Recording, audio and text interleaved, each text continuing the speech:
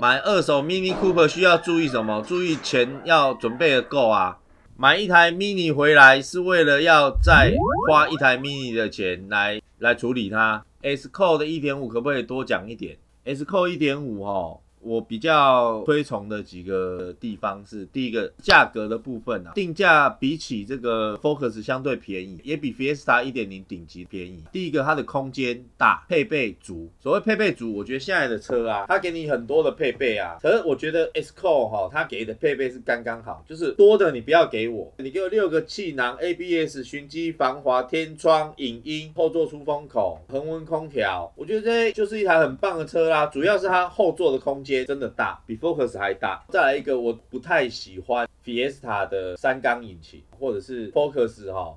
我不喜欢三缸引，而且我不喜欢涡轮，因为我觉得多一个涡轮好像多了一个以后会有疑虑会坏掉的东西。大家都知道我本来就很崇尚自然进气的车子，我觉得它整个加速比较线性。那再下一个就是说大家比较担心的这个变速箱，二零一七、二零一八那时候新款的 Focus 还没有出来，其他都是用这个双离合器嘛。那大家都知道有一些灾情嘛。那事实上别不管 Fiesta 或 Focus，我还是多多少少有修过他们的变速箱。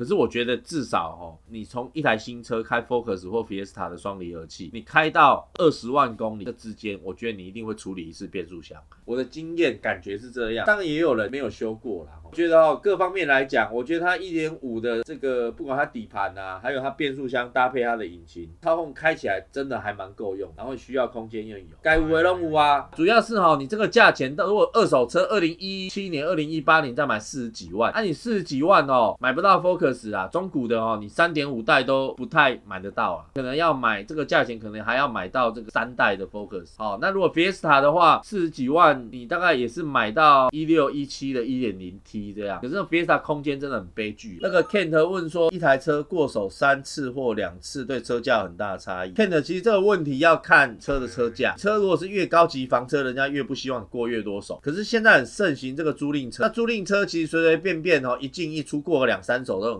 他们有时候要做账嘛，满三年从公司又过回个人，然后个人又不知道卖到哪里去，又过一手，所以很容易在短时间内过两三手。所以说要看这车价。那现在我觉得大家奴性不要那么重，台湾的这个二手车消费市场都被这些车商啊训练的哈，误把一些不正确的事情误以为是正确的。我今天遇到一个这个一个老伯伯，他从这个云林哦，特地坐高铁上来台北找朋友，以后跟朋友借摩托车，说哎我要去一个叫小四那边看他们一下，哦就来啊，然后跟。我们聊天，然后跟这个科比拍照，跟我合照。他就跟我讲说：“小师，我跟你讲哦，我在你们这边买车，我绝对不会烦你。开出去之后哈，皮带断掉，我绝对自己处理，不找你。”然后我就直接跟他说：“啊，哥，你这样不对。”我说：“哦，第一，我们现在就是在颠覆二手车的市场的一个陋习。你来找我买，就是为了要售后服务。今天无论你是在我门口把皮带断，不要说皮带断，你就算你回云林开两个月，皮带断掉，你都要告诉我。我还直接跟他讲，他吓到，你知道？我说我最讨厌这种人。”我说哦，你这种客人呐，我卖你，你出去哦，好或坏，你都不会回来跟我讲。那我卖你干嘛？对不对？我卖车薄利多销，我就不外乎为了多交一个朋友，对不对？啊，像你这种，你买回去那就不插小我，所有事情都不烦我，我反而觉得很讨厌，觉得在我把这么好的东西交给你是浪费了，我只换到微薄利润回来，节约的开玩啊，没有？问题是我还失去一个朋友，没有意义嘛？就算你在云林，我云林会帮你安排我们的。保修厂嘛，第一个钱的问题你不用担心，我们应该付的，我们就会帮你处理。那第二个感觉的问题，无论这个钱是你付还是我付，今天你远在云林，我在台北，跟我买了车，我还帮你安排当地的修配厂，让你方便去修护，还不会被人家供盘子，那有什么不好？我说现在哦，台湾人奴性不要这么重，不要觉得说好像什么东西都是应该的。CT 两百 S 一五年跑八万公里，我觉得跑太多了呢，除非你要买很便宜啊。其实哈，我我现在的经验就。就是你跑八万多公里，你底盘的一些耗材，像我们现在那台一二年的，诶，跑十出头万嘛，也在检查一些底盘的东西。而且啊，你八万公里距离这个电池要换的那个距离有点近哦。一般像这种油电车，大电池的寿命，我的经验大概平均在十二十五万公里，可能有机会会换到八万公里买一台一五年的车，如果不够便宜的话，距离十二万已经危险期有点近了。推荐的二手修理车有啊，看多少钱的啊？你找我，我一定都是大排气量的啦，小排气量的 CP 值不够。CVT 变速箱有哪一种比较耐用吗？印象当中啊，还没有遇过灾情的。坦白说，只有也有可能是我卖的不够多啦。Toyota 的 CVT 的灾情我还没有遇过。我记得 T N a VQ 三五够屌了吧，对不对？两百二十匹调教到两百九十八匹这个论据配一个 CVT 变速箱，哇靠，它整个都鸟掉。我我这个人是宁愿传统四速四，不要说五速六速，四速都不要紧。那你像 Suzuki 的 CVT，其实我有遇过问题，你上的更不用讲。速八路我没我我不能讲，因为速八路样本数太少，所以不好意思说。R 叉三五零哦，其实我跟你讲啊。我昨天开 R 叉三五零去录影哦，其实我们在那边在聊天，其实大家车评哦，每个都其实也不是说不愿意承认，碍于身份嘛，对不对？我们不能在荧光幕前面只讲某一款车，可是的确哦，你站在某一个角度啊，其实 Lexus 的车是可以买的。那个角度是什么？我相信不用多讲，大家都知道哦。就是你对车没有那么有热情的人，车对你来讲可能需要的是妥善率高，然后隔音不错、舒服、好照顾啊，开起来像船一样没有关系。好，转弯也不用很快的转弯，稍微会倾会软一下无所谓。它是一台好车啦，可是你要说它有什么通病哈？通常像这个零六年左右的 Lexus 或者是这个 Camry。当时啊，还有一些 E S L S 都会有一个问题，它那一批的内装用的塑料有灾情啊，可它那个中控台啊，所有那个门板啊，都会有点像环保漆一样，黏黏的脱漆软化。是你如果说像科批有没有跟大家传教，教大家环保漆怎么用，那就算了，还可以翻，对不对？我告诉你，它那个中控台都整个裂开的。就算叫科批来，真的也没有办法。甚至我们去问过很多外面专业翻新的厂家，很多其实不是很贵，就是很不愿意做。要不然他就是跟你讲说，这个做好也不会完全哦，要花很多钱去整修。有时候修起来啊，比其他的通病都还要贵啊。十点五代阿提斯二点零会有什么通病吗？没有。如果阿提斯还有通病，真的不知道还有什么车没有病的。GST 威廉，我跟你讲，这种老车就是这样哦。可是 GST 其实问题说实在还蛮多的。不过不管了哈，我觉得买这样有年纪的车子啊，为什么车价会从七万到二十万都有？我常在跟大家讲，大家说啊，你车几台修三万五万等啊，啊卖十几万哦，这是我最常遇到的问题。简单讲啦，大家现在看到我在我的卖场卖的车，只要大概在十五万八、十六万八这种开价，那个通常买回来哦，价格都不超过十万啊。因为旧换新的问题，你要买低于五万几率也不大了。基本上我们现在的。二手车买进来哦，五万是一个基本行情，而且有客人跟你讲说，哎，政府是补助五万哦，我车拿去报废还有几千块哦，所以是五万多块哦，所以哦，买到五万还算赚到哦，通常都是五万多块哦，那五万多块哦，我夯不啷随便讲四个轮胎好不好？就差不多一万的。对不对？我讲一个有底壳漏油，避震器两只，碟盘两个，哦，东阿婆诶，水管要五位博哇哇诶，哎，随便花三五万两两，好运不用考整台，考半台两万块，那个真的随便整理一下都爆表。Lancer 跟零三年 Viage 一点八比较推荐哪一台？当然其实没有差了，你如果没整理的也不用超过十万块。那当然你如果要来代步的话，车况好，其实一点六一点八都 OK 啦。CLA 二二零柴油车好吗？六到七年。红区我不会去买宾士的柴油车。除非是商用车，以前啊，我曾经看过哦，我前面一台它是 E Class 的，我忘记多少 CC 数柴油车，然后林口坡刚好要上坡，它油门补下去有没有？后面一阵烟啪出来，干你阿里塞变路，等下喷 O N，阿里就阿德塞变路，你懂我意思吗？可是那个不是不好，那是感觉问题。贵店的 Seven 有吃机油的问题吗？一定有的啊，哪台 Seven 里面有吃机油问题？我不相信啊，一定有。三菱汽车的引擎到了久了哦，基本上十台有十一台有吃机油。差别在于吃多吃少，引擎状况好，引擎状况差。亚力士 Fit 哪辆车小师哥比较推荐？业务用车哦，你自己要开的话，当然是 Fit 最好。但你如果是真的就是整到底，你一定是用亚力士或是 Vios 会比较划算呢。二手 Golf 是不是真的要赌运气？没有啦，也看人品呐。好，买二手 Golf 看人品，然后当然主要是看那个人家给你的这个车况好不好啊。我不是说我卖的 Golf 都很好。我是说，我我们相对性的有做一些检查跟评估啊，我们也只敢说这个风险是降低的，我不会跟我任何一个客户说，你跟我买 GoF 都不会有问题。零八零九 K 十二多少可以买到三十几万吧？三十几万买得到吗？应该买得到了。零八零九三十几万。叶红说，欧系七人座 SUV 保值吗？不保值。我现在在观察那个 Kodiaq，我在观察看它会不会成为新一代的欧洲的修旅车的还不错的车子，这样。零二瑞斯零六英格哪一台比较推荐？我的话买瑞斯，因为瑞斯零件真的是便宜到扣八，靠边。预算三十万，七人座修旅车，五人座修旅车推荐。Outlander 啊，Escape 啊，CRV 买得到，不过 CRV 大概零七年吧，零八年吧。奥林德应该可以买到一零年、一一年去的，然后七人座比较少啦，三十万七人座买什么？你只能买到 MPV，买到 Previa 应该 baby 就三十万。如果预算三十万七人座修理车，我会买 F 叉三五，或者是说 RX 三三三零 S 系列的外形这次怎么样？我跟你讲啊，宾士的车哦都是这样，一定是越做越屌的啊。上礼拜天去逛街，他在外展，在外面放一台，在那个微秀。放一台，我也觉得妈的这啊，我好像改一下灯，改一下内装，什么比我那台车帅这么多。混动马六汽油的评语，叶轩，我讲实在话哦，马六新款的我一台都没卖过，你信不信？马自达哦，不要说有几款车啦，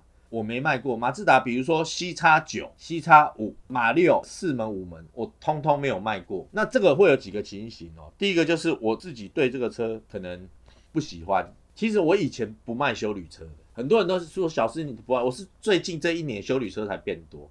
我希望我卖的车是一个能够帮助生活的东西。那我的认知，修旅车跟一些中大型房车，在我的认知当中，它是奢侈品啊，我自己感觉啦。但市场不是我在定义。利博矿工啊，我出下灰，我就要买一台两千五百 CC 的、三千 CC 的，很难呐。我希望卖那种小型，有没有？我都很多国产的，然后中小型的，然后我觉得好照顾。那为什么我会卖一些大排气量？大排气量是因为说它很便宜呀，对不对？它虽然是奢侈品，可是它便宜到一个破八的境界哦。小咖靠北有没有？台语的台语的这个奥妙之处，便宜怎么讲？小，然后再再更便宜一点怎么讲？就小，对吧？好啊，你如果再南部一点哦。销售哎啊，如果很便宜很便宜，小个靠背有没有？这个是可以用形容词，是可以这样子来做一个表达的，好不好？好，所以我觉得，当我对于比如说马六，我觉得说阿加我不喜欢，所以每一次当人家来估车的时候，我报价就不会太高啊。我报价不会太高的时候，我就买不到。可是哦，你说有好有坏哦，我觉得好处就是当那些七叉五啊柴油马六在出事的时候，像我也不太爱卖柴油车，是这样有没有？我记得好像前几天才去抗议嘛，对不对？然后我就很庆幸说，哦，好险我没有卖过这个车。啊，万一没有遇到，我不是很倒，所以我没有办法跟你讲马六。我讲了那么多，只是为了要讲，我没有办法跟你讲马六好不好？因为我真的没卖过柴油车，不好的原因是什么？我认为柴油车是一个过渡的产品，它终将被淘汰。为什么？因为环保议题嘛，有能源议题，所以大家开始做柴油车嘛，打着环保的议题卖的车，可是却我却没有比较环保。无论对于你的荷包来讲，对于空气污染来讲，我觉得并没有比较环保。特斯拉我没有，我还没有估过哦。如果有估过，我会拍一集，好不好？吃机有问题有办法修到好吗？张希一定有办法修到好，只是说有没有必要？吃机油这个事情要不要修，取决于什么？第一个吃的多大。好，跟漏油一样。你假设我们今天我们买了一台十万块的老车回来，那稍微底盘有在渗油，好，也许在一次保养到下一次五千公里保养之间，大概少一罐。基本上如果是我的话，这样的状况我不会去处理，因为那台车残值已经剩下十万。那如果撇除掉这个稍微油，每一次保养会少掉一罐，吃不管是吃的还是漏的，它就是少了一罐。那车剩十万，我为了修这个吃机油、修这个漏油，我要再花三万，我觉得这是一个不划算的事情。所以要看说你希望这台车带给你怎么样的帮助。那第二个是这台车剩下多少钱，好不好？我们提供吃机油车就不能买，吃大吃小。一零年 T 达有什么需要注意？一零 T 达很棒的车啊，不用注意啊。一零年 T 达我目前遇到，坦白说也都是一些基本的一些耗材。T 达某种程度而言算是还不错，蛮稳定的台代步车，也没有修过什么太大条的东西。我记得没错的话，它是电子方向机。那电子方向机要注意一下马达够不够力，这样还有那个机柱有没有间隙，基本上应该没有太大问题。预算四十万可以买到几年的 Fit？一四年，四十万刚好有点尴尬，它介于新旧款都有机会。零七的 Camry 雅阁 T。天呐，二点三，我会选哪一台？我会选雅阁啊！啊，自达五中古车跑二十万还能买吗？这个问题哦，我知道文中说的应该是我那一台，我那台是客户跟我们换车的，跑二十三万公里，二零零八年。其实我还不知道公里数，我当下看到整个车况的时候，我以为它大概十来万公里而已。后来这个是科批的客户，然后科批跟我讲说，哎，这台车跑二十三万，我说哇，啊这我们还要卖吗？那我本来想要丢到这个拍卖场哦，把它拍卖掉。说啊，科比你觉得嘞？他认为这个车主照顾的很好。简单的讲，他觉得车前车主有在顾车。那我就说好吧，那就留下来卖吧，卖个一个礼拜，反正我也便宜卖啊，二十几万的马自达五七人座的，你自己去市场找你也找不到哦。有天窗的黑色的，就用比较便宜的价格，那看有没有人有需要。你说能不能买？打着我的招牌，我们一定要有相当程度的信心，我才把它推出来卖。中古的 Fit 啊，中古 Fit 我觉得比较多问题就是撞过跟改装。Fit 车头比较短哦，通常撞到通常都蛮大力蛮严重，所以你中古的 Fit 你要注意一些碰撞的东西，还不要有改装，好不好？基本上 Honda 的这几年的 Honda 的还不错。Ground 推荐吗？我我不会推荐呐，但是你如果想买的话，车况好也可以买啊。为什么？因为一二年的 Ground 一定很便宜，那车价一定也是俗到扣八。三二八 CP 值如何？有啥通病吗？啊，没有啊，那个 B N W 没什么。通病啊，就是大概开个三万公里以上，就可能就要开始慢慢想办法面对漏油的问题。重烤漆的地方起疹子是什么问题？当初打底的时候没有打好，它的水分补土的水分还没有完全的让它蒸发干以后，它就把漆喷上去了，然后它的水汽有没有想要出来，干出不来，挤挤挤，嘣就冒痘痘。一零年 Fortis 跑六万八，大家可以卖多少？十五到二十几都可能，要看等级。Fortis X Type 三点零四传的好吗？Asoka。Asoka 全，你是知道我开这个车吗？当然好啊，我现在开这个啊，S Type 的三点零四传啊，我就正在开 ING，看好油电 Artis，看好啊。目前的油电系统，我只看好 Toyota 的系统而已。其他车厂不是说不好，我觉得他们可能需还需要一段时间下去呃修改进步。那因为 Toyota 是真的很早很早，以台湾市场来讲，就二零零三年的时候。他就开始在做这个油电，然后一直在踹嘛，对不对？妈，你说前面的白老鼠来买，我就是试看什么问题，一直改，一直修，一直改。Fiesta 跟 Esco 哪台好呢？保值哦。如果以台湾的状况来说，小车还是有比较有机会保，但是目前看起来 Fiesta 跟 S c o 的保值率是差不多的。好，以一点零涡轮的 Fiesta 来讲的话，未来有可能还是小车比较保值。一零年四 WD。的 Outlander 多少可以入手？二十五万左右，建价有些车蛮准。这个建价这个东西是这样哦，很多人试图上面 A B C D E F G 啊，还是什么有的没有的，很试图在这个网络上面去，好像让你去输入你的车可以查到剩多少钱。我还是要讲，它有机会准，就算它现在准，它也很快就不准。因为车子的行情价格几乎是每天、每两天、每三天、每五天都在更新，它真的就是依照市场的波动。会一直在修正这个车的价格。再第二个，它变数太多。你要简单的讲一个行情，你不用去上去什么 CARP 啊，你直接问我就好了。我每天都可以跟你讲，二十五到三十万，十五到二十万，三十五到四十万。但是问题是，它不代表你车子真正的行情。而且哦，你今天估跟你三天后开来卖价格可能又不一样。估过一点五酷咖吗？一点五酷咖我估过啊。我看我上次估那个什么，二零一六年五十几万啊，怠速时转速会飘，大概什么问题？空气流量计啊，节气门啊，怠速马达啊，脏啊，坏掉啦，GG 啦。一二年的 T 达开二十万公里，我还收车不会收。Lexus GS 三百四元灯有什么通病？哇，那问题其实蛮多的诶。那那一代 GS 我有开过，那因为老啦，也不是说它车很烂啊，就是其实它零件蛮贵的哦。你要买 Lexus 中古车。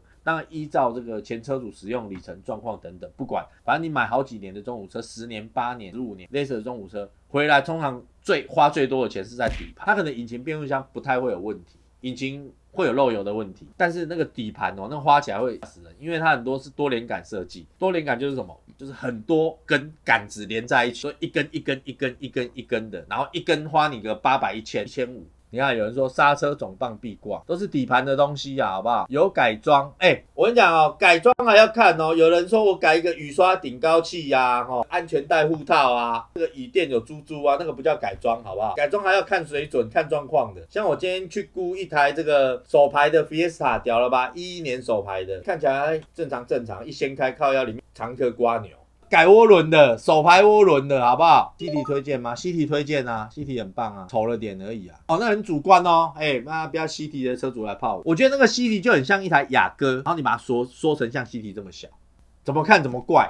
景宏 K 十一 K 十三 K 十一 K 十三推荐哪一台？当然 K 十三啊，越新越好啊。女朋友也是越年轻的越好，不是吗？Golf 维修保养贵吗？贵啊。像我昨天去露营啊。主持人就问我说：“B N W 很会漏油，问题很多啊，你们为什么都那么喜欢开 B N W？” 我就说：“哦，这东西就是这样。以前啊，我有个好朋友啊，一个男的交了一个女朋友，女朋友背着他偷偷来跟别人在约会，被他抓到，而且糗的是什么？对方还跟他开同样的车。当然，身为他的好朋友，你明明就。听他讲，他朋友每次都跟你抱怨说，哦，那个女的啊，很会花钱啊，然后叫我带她去欧洲玩，带她去吃什么餐厅。最后你又听到他那边说啊，他又跟别偷偷背着你，又跟别去约会什么，有时候打电话找不到。那你心里想说，干他这个人，女人妈那么不讲道义，你还跟他在一起，对不对？分分啊！我跟你讲。他还爱的要死，他也不要。啊，可是哦，他可能是因为我太忙，没时间陪他，还帮他着想哦。他那天哦，他可能应该不是跟别的男人约会了，他只是说哦，跟同事去吃个饭，有可能是这样啊？有没有？有没有遇过？后来想想哦，其实这个跟管刚很多人问啊，说哎，mini 好不好养？golf 好不好养？B N W 好不好养？不好养，为什么还那么多人在养？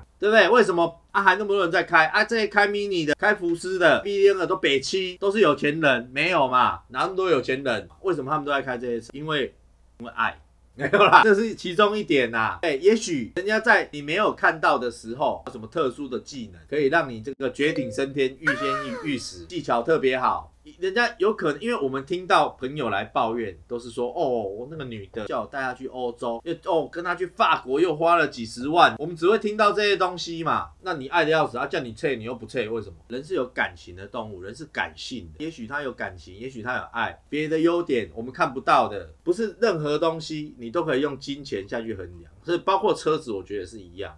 一九年四月，Focus MK 四 ST Line 灰色跑六千，目前收购价约多少？我觉得这个收购价可能会在七十多万。一一年 Focus 五 D 二点零 S 的话，大概二十差万。网络车商代标汽车有什么看法？来讲到一个代标汽车这件事情哦，基本上我不太支持代标车。我如果今天我要做代标车的行业，我应该会很忙，接不完 case。可是我认为哈，代标车是一种。我觉得很不好的一个销售表现，怎么说？我帮你去买一个东西回来，然后我赚服务费卖给你，我不负担这个后面的问题。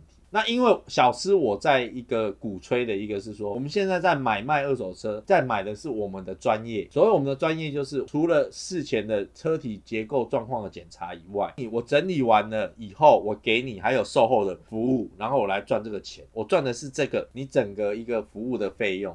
就例如卖保险好了，现在大家都会买一些什么寿险啊，什么险什么险。真的，我自己在买保险的经验呐，收钱的时候最积极啦。好一点的，逢年过节也不过寄个什么年历啦、贺年卡给你啦。嘿，唔把你小舅门诶啦，你那真正吼事情发生，你要出个什么险？好一点的，他帮你都按你什么单子给我啊，我帮你去申请什么。啊，烂一点的哦，就跟你讲，啊你就准备什么什么什么，然后去跟公司申请就好。一样一个买保险有却有不一样的服务嘛。所以我想要跟大家讲，为什么我不做这件事情，是因为我认为买二手车，你的目标不是只有买便宜而已，你要买的是一个车况啊，甚至你要买的是售后服务啊。当然你说我很强，我谁谁谁在修车的，问题是那你叫你你那个谁谁谁去帮你找一台车就好了。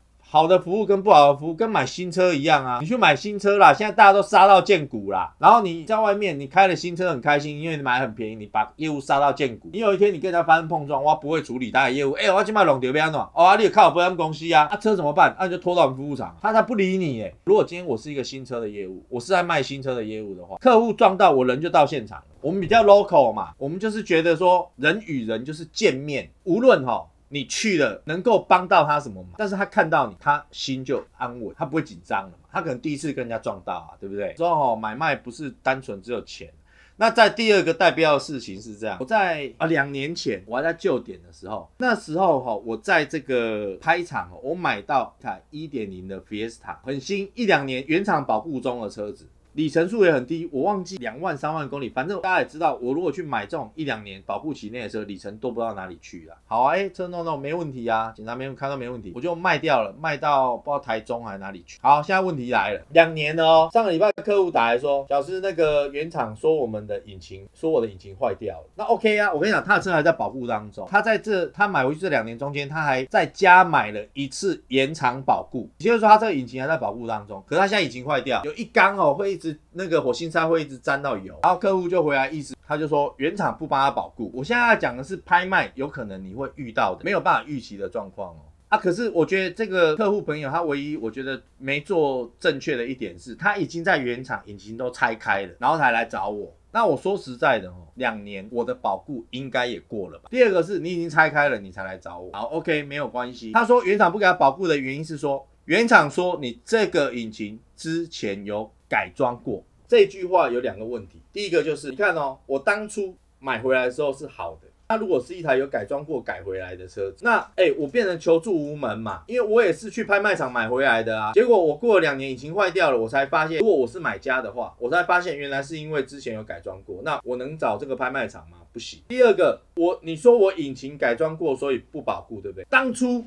我在跟你加延长保固，给你付钱，给你说我要延长保固的时候，你怎么不告诉我我已经改过？你为什么还收我的钱？他说原厂的电脑里面有记录说这个是引擎之前有改装过，然后所以现在不给你保固。那我当初我延长客人在延长保固都还付了钱，跟你延长保固的时数跟里程数，我付钱给你的时候，你怎么不跟我讲？哎，先生不好意思哦，我们电脑哈有注记你这个引擎之前有改装过，所以这次延长保固我不能跟你收钱。你那时候为什么还跟人家收钱？那这条钱要不要退给我？我现在跟大家讲也。带到在前面的一个问题，二手车你不是只有买便宜，那车主来找我帮忙了嘛？那我怎么办？他说他说可以修哦，修的话大概五六万块，可是车主怕说修了以后没修好，今天如果要小师负责，小师是 OK 没有问题。所谓的保固，你要让我来处理呀。而不是说你已经在别的地方已经拆开才回来叫我保固，那也不对啊。就算是你要请小师来帮你保固，也应该是要由我来安排。你就说，哎，小师，因为我觉得你们如果在外场修，我有疑虑啊。那就算我要送回原厂，也是我来送啊，对不对？没有，我现在不是在，我我现在跟大家分享，我不是在讲这个车主，因为这个车主到最后我们处理的很好，也没有任何的不悦哦。车主也是一个很很好的车主，当然我们也是很好的车商。我讲实在的，因为。没有人会理他，其他车行我敢跟你保证，没有人要理他。我认为说这个车既然从我们这边出来，那有这样的状况，我们就不管你买多久。我常跟我消费者讲一句话：你出不是你车出去了，就算你转手给你朋友，车卖给你，然后那个车主回去又开了一两年，又卖给他朋友，他朋友车有问题回来找我，我还是帮他。然后他说：哇，小师啊，为什么你还理我？我说啊，这台车就从我这边出来，我管你车主是谁，你有问题回来，我还是帮你用便宜的价格修，因为这台车就是我这边出来。好啦，啊，反正哦，拆开到最后哦，车主我们协调，他说他觉得换一个新的他比较安心，新的要十二万，那最后这个结案就是我们六万，车主六万，我觉得有有一些大家调调整一下嘛，因为毕竟他也开了两年了，我讲实在的，这个原厂也不理你啊，我欲哭无泪，因为你已经拆开了，我也没办法去协调了。要不然正常来讲，我一定是直接去跟他撸嘛。至少第一个，你保护钱还我；第二个，你告诉我哪里有改装啊，不我怎么能接受？所以我常常讲哦，钱能解决都小事啊，没有钱才是大事，好不好？那我在拍卖上面到吃到亏也不是一次两次而已，很多嘛。因为不管是代标业者也好，还是我们自己在拍卖上面飙车进车也，我们都是用一个他他们的标准写出来的表格，跟他们拍给我们的照片，然后来断定我要买多少钱。就车就是要开才知道问题。我遇过很多嘛，有些问题就是你可能要时速开到九十以上才会出现呐，有些问题就是你可能要塞车才会遇到啊，有些问题你可能要爬山才会遇到。我还遇过有的问题是只有下坡才会出现，平常开都没事，它就是在下坡的某一个坡度斜率的时候，轮速感知器有问题，然后 O D 灯就闪闪闪，然后闪完它就熄掉了，然后平地再怎么开都没有问题，连这种妈鸟东西我都遇过。那你一般车主说啊，这波来几波来？我们今天是因为我们下坡试道，我们去把它弄，换你的车买回去五年永远都有这个问题。你没有下过坡，你都不晓得。每次去家乐福下坡的时候在闪灯啊，哎，闪完了好像没怎样，就算。跟大家分享啦，你买二有时候买二手的东西，跟你买古董的东西，不是说便宜就是好的啦。有时候哦，价格很重要。我知道大家赚钱很辛苦，但是呢。有时候你会，你买的时候你觉得买很便宜，可是你忽略到后面的一些衍生的成本、风险等等的这些事情，你会忽略掉，那会反而让你花更多钱。就算没有花更多钱，可能也会花你更多时间。三年铁灰色的 S x Four 应该在二十五万到三十万之间，有三十几吗？三十几就要看状况。熊霸子场内有旅行车吗？比较少。好了，大家晚安啦，下次见啦，拜拜啦，Goodbye。大家晚安。